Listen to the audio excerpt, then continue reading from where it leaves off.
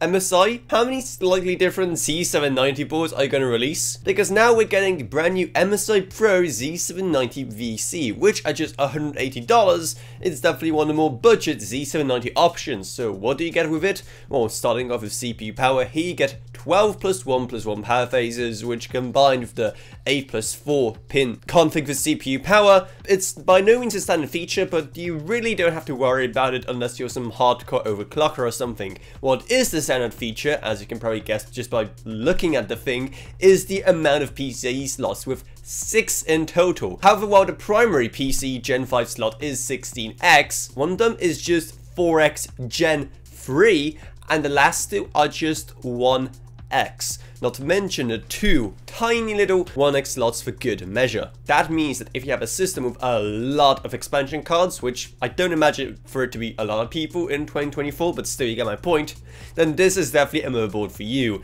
However, all of that extra PCIe expansion is also at a cost to the storage because you only get two M.2 slots with both of them being Gen 4 so no Gen 5 storage here plus only 4 SATA connectors. So the storage is definitely a bit more limited compared to many other Z790 boards and then there's also the rear I.O. which is just fine, I guess. Probably the biggest disappointment is the fact you only get 6 USB Type-A ports, though at least only 2 of them are USB Gen 2, and at least you do get the full 20 gigabit per second USB Type-C port as well, and most importantly of all, you also get that sweet sweet PS2. Add to that both HDMI and DisplayPort for integrated graphics, 2.5 gig Ethernet, which is pretty standard for Z790, Wi-Fi 7, which is an awesome touch to see here in such a budget board, and finally 6 audio jacks, with unfortunately no optical split option, though even more unfortunately than that, it's also using the budget ALC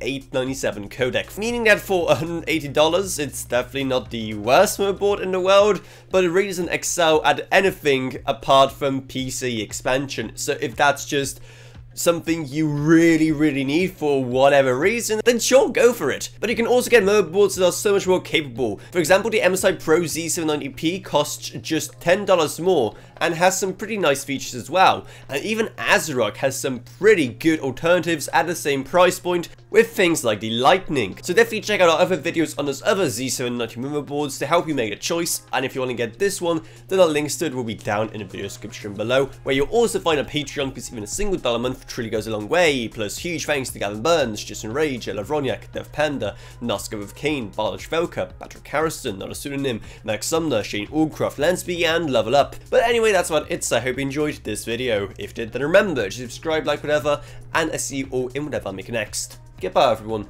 Kid. Bye.